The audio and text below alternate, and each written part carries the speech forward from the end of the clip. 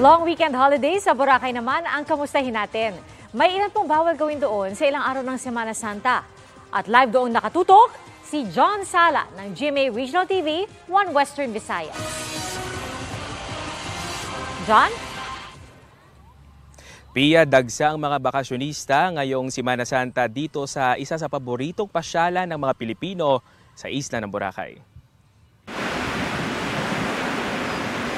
Ngayong halos wala ng travel restrictions, marami ang nais bumisita sa Boracay upang ma-experience ang world-class na ganda ng isla, lalo na ngayong long weekend. Kaninang umaga nagsimula ng magsidatingan ang mga turista sa Katiklan Jetty Port.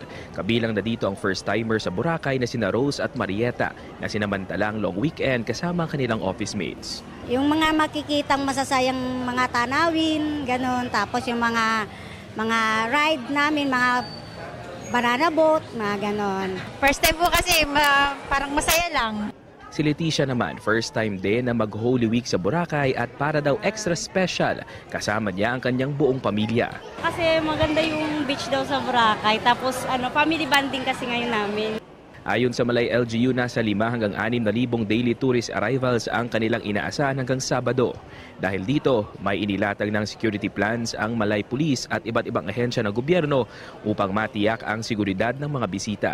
Kabilang sa mga naka-standby upang magresponde sa oras ng emergency, partikular na sa mga matataong lugar ang mga kapulisan at kawani ng BFP, PCG, Malay MDRRMO at iba pang emergency responders. Ayon sa pamunuan ng Katiklan Jetty Port, alas 11 ng umaga hanggang hapon ang karaniwang dagsa ng mga turista na karamihan ay domestic tourists. for all the tourists po is kung pwedeng i-ready na rin nila ang agad yung mga documents.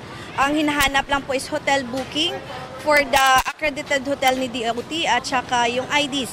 Dalawa lang po yung hahanapin sa kanila and then we also have the reminders na to secure their belongings. Bilang paggalang naman sa paggunita ng Semana Santa, naglabas ng kautusan ng lokal na pamahalaan na nagbabawal ng mga party at malalakas na musika mula alas 6 ng umaga sa Biyernes Santo hanggang alas 6 ng umaga sa Sabado de Gloria. May isasagawa din ang misa at prosesyon ng Our Lady of the Most Holy Rosary Parish sa Barangay Balabag.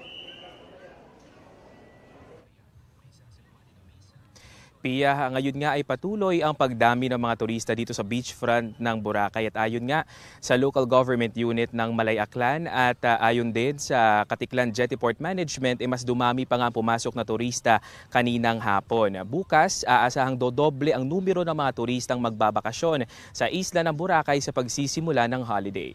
Pia? Maraming salamat, John Sala ng GMA Regional TV, One Western Visayas.